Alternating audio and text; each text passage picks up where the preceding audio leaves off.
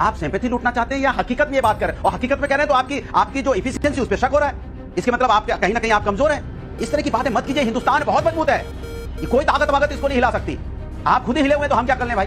से मुझे नाविका जी लगता है अनुराग भदौरिया जी डिबेट करने आते हैं या बैले नृत्य करने के लिए आते हैं। ये कह रहे हिलने लगे इतना हिलते डुलते हैं भाई। अच्छा, मतलब आप तो विचित्र स्टाइल में डिबेट करते हैं। जितना आपका जबान नहीं हिलती उससे ज़्यादा शरीर हिलता है। देखिए हमने ये नहीं कहा हमारी सरकार कमज़ोर है हमारी सरकार हर चीज़ पर नज़र रखती है। हर चीज़ का लीगल नहीं मॉरल जवाब भी चाहिए। क्यों ऐसा होता है कि राहुल गांधी जी के बयान कोट किए जाते हैं पाकिस्तान के द्वारा? अरे आज तक कांग्रेस के भी इतिहास में कोई ऐसा प्रधानमंत्री नहीं हुआ या उनका ऐसा नेता नहीं हुआ जिसको जाके उन्होंने कोट किया हो पाकिस्तान मणिशंकर अय्यर और सलमान खुर्शीद गए थे कि नहीं पाकिस्तान? और ये कह रहे हैं कि आप हटाइए मोदी जी को शर्मा नहीं चाहिए हेलो दोस्तों, आपका स्वागत है वायरल डिबेट शो के अंदर। दोस्तों, आज हम जिस वीडियो पे रिएक्शन देने वाले वो होने वाला है टाइम्स नाउ नौबाद के शो, सवाल पब्लिक का। इस डिबेट के अंदर दोस्तों, अभी हाल ही में स्मृति ईरानी ने एक प्रेस कॉन्फ्रेंस में आरोप लगाया राहुल गांधी पर कि जब उनका दौरा अमेरिका का था, तब वह देश विरोधी लोगों के साथ मिले थे। दोस्तों, आज की डिबेट इसी मुद्दे पर होगी, जिसके अंदर आपको सुधांशु त्रिवेदी जी और समाजवादी पार्टी के प्रवक्ता अनुराग भदौरी के बीच में काफ़ी तीखी बहस इस डिबेट में देखने को मिलेगी। दोस्तों, वीडियो बड़ा ही कमाल का होगा, इसलिए वीडियो का एंड तक ज़रूर से देख के जाइएगा। चैनल पर नए, चैनल को सब्सक्राइब और वीडियो को लाइक भी ज़रूर से करिएगा। तो चलिए, वीडियो को शुरू करते हैं। बिल्कुल सवाल पूछना चाहिए कि भारतीय जनता पार्टी की सरकार में कितने पत्रकारों पे एफआईआर हुई है, सच दिखाने पे पूछना चाहिए। पूछना चाहिए, आपको पूछना चाहिए, आपको पूछना चाहिए जहाँ जहाँ आपकी सरकार नहीं, कितनी एफआईआर आपने लोगों पे की है, पूछना चाहिए। और ये डाटा सामने आना चाहिए, किसी को छुपाना नहीं चाहिए इसमें। और जिस तरह की बातें भी सुधांशु त्रिवेदी जी कर रहे थे, ऐसा लग रहा था जैसे विपक्ष में बैठे बेचारे, असहाय हैं, उनके हाथ में तो कुछ है ही नहीं। सब विदेशी ताकतें आ गई, विदेशी ताकतें देश पे हावी हैं, पैसे से सरकार बदल देंगी। तो भाई जब सब कुछ विदेशी ताकतें हैं, पैसा सब बदल देंगी तो आपकी यहाँ पे इंटेलिजेंस डिपार्टमेंट क्या कर रहा है भाई? सरकार क्या कर रही है भाई? सरकार इतनी कमज़ोर तो हिंदुस्तान की है नहीं।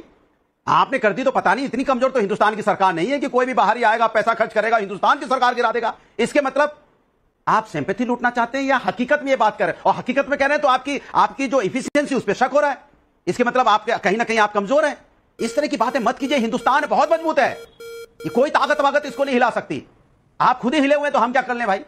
तो इसलिए आप मुद्दों पे बातें कीजिए वो ज़्यादा अच्छा होगा। एफआईआर की बात आपने की तो डाटा निकाल निकलवा लीजिए। सारा दिन इनका एक ही तो धंधा है भारतीय जनता पार्टी का कि एफआईआर करो डराओ धमकाओ तभी तो पूरी विपक्ष की पार्टी एक साथ आई है। आपको पाँच। के लिए। मैंने कहा मैं, मैंने कहा सुधांशु जी से ज़रूर पूछ लीजिएगा झोला लेके जाते हैं क्या सब्ज़ी लेने कभी?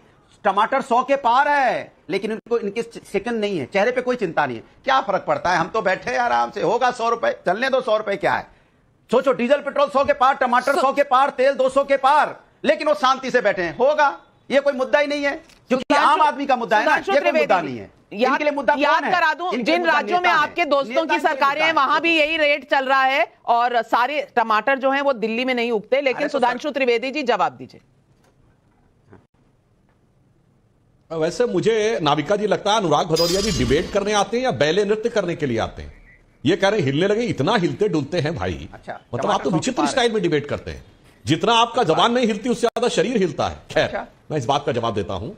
वास्तविकता में क्या तो है? अच्छा, तो इनसे जिसे मुद्दे की बात कहते हैं हाँ इस समय टमाटर के दाम बढ़े हुए हैं पर केवल पंद्रह दिन पहले तो बढ़े हैं है ना एक विशेष परिस्थिति में। आगे आप देख लीजिएगा स्थिति नियंत्रण होगी पर जो सवाल उठाया गया है कि ये बताइए कि अधिकांशता सारे के सारे हाँ। विपक्ष के ही राज्य क्यों है जहाँ पेट्रोल सौ रुपए से ऊपर है? और मैं दर्शकों के लिए बताना चाहता हूँ पेट्रोल एक ऐसी चीज़ है जिसका देश में अलग अलग दाम होता है। हाँ। चूँकि उस पर तीन प्रकार के टैक्स लगते हैं। एक तिहाई लगभग अच्छा। कंपनियों का होता है एक तिहाई अच्छा। केंद्र का टैक्स होता है नई बात बता रहे हैं। सुनो भारतीय सुनो नई बात है ये। हमारी केंद्र सरकार ने दो बार अपना टैक्स कम किया है राज्य सरकारों ने दो बार कम किया है माफ़ कीजिए ये ये अगर मुझे टमाटर के दामों की चर्चा करनी होती तो मैं उसका डिबेट रखती। यहाँ जब देश तोड़ने की बात आती है तो इनको गरीबी की याद आ जाती है दामों की याद आ जाती है इनको याद आ जाती है बेरोजगारी की आगे पीछे नहीं आती। इनसे सवाल पूछे सुधांशु त्रिवेदी जी तो इनको ये सारे तमाम चीज़ें याद आ जाती है लेकिन दोस्तों के बारे में टिप्पणी नहीं।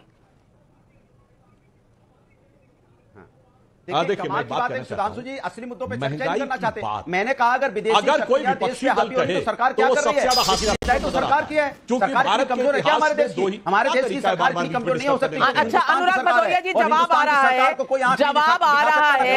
है, जवाब दे रहे हैं सुधांशु जी कृपया सुनने की कोशिश करें। भाई देखिए इनको कायदे से डिबेट करनी हो। बीच में आके कभी कुछ कभी कुछ चीखना चिल्लाना शुरू कर देना। खैर मैं जवाब देता हूँ। देखिए हमने ये नहीं कहा हमारी सरकार कमज़ोर है हमारी सरकार हर चीज़ पर नज़र रखे हुई हर चीज़ का लीगल नहीं मॉरल जवाब भी चाहिए। क्यों ऐसा होता है कि राहुल गांधी जी के बयान कोट किए जाते हैं पाकिस्तान के द्वारा? अरे आज तक कांग्रेस के भी इतिहास में कोई ऐसा प्रधानमंत्री नहीं हुआ या उनका ऐसा नेता नहीं हुआ जिसको जाके उन्होंने कोर्ट किया हो पाकिस्तान में। मणिशंकर अय्यर और, सलमान खुर्शीद गए थे कि नहीं पाकिस्तान?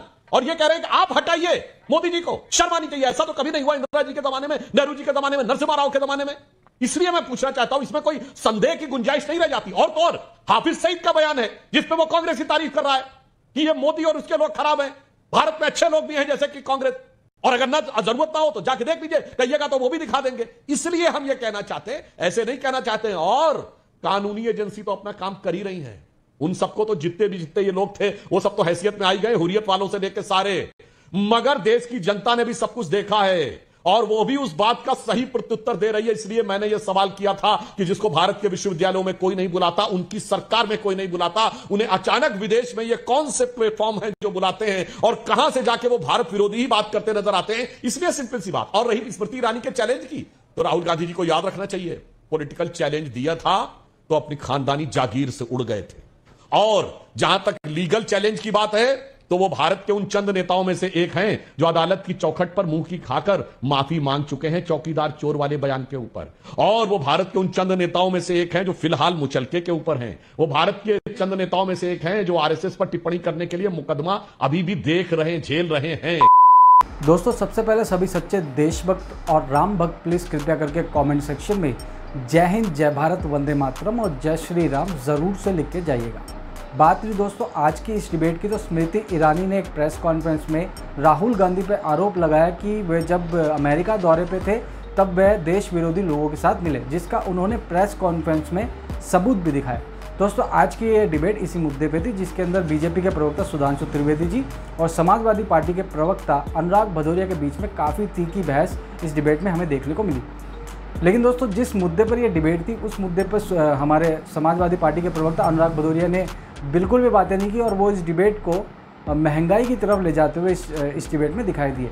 लेकिन दोस्तों, सुधांशु त्रिवेदी जी ने महँगाई का भी बखूबी तरीके से अनुराग भदौरिया का इस डिबेट में जवाब दिया और उनकी पूरी तरह से बोलते बंद कर दी। खैर दोस्तों, आपको क्या लगता है कि जो स्मृति ईरानी आरोप लगा रही है राहुल गांधी पर, उसमें कितनी सच्चाई है, आप हमें कमेंट सेक्शन में ज़रूर बताएगा। वीडियो पसंद आए तो वीडियो को लाइक और चैनल को सब्सक्राइब भी ज़रूर से करके जाएगा। फिर मिलेंगे दोस्तों ऐसे वीडियोज़ के साथ, तब तक के लिए बाय टेक केयर।